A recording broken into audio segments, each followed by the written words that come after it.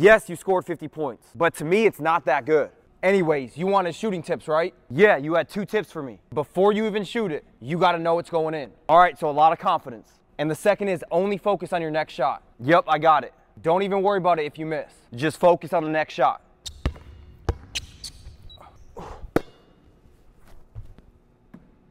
That was a bad pass. It's not your fault, son. Hey, don't worry about it. Just focus on your next shot. Yeah, I got you.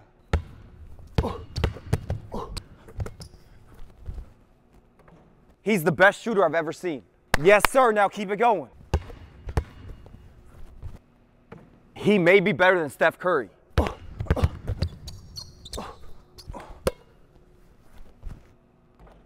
Hey, way to shoot, bro. I taught him how to shoot like that. So you're a shooter now, huh? I can't believe it. Those tips you gave me worked perfect. Hey, backup player, I got bad news. What's up, coach? You won't be happy when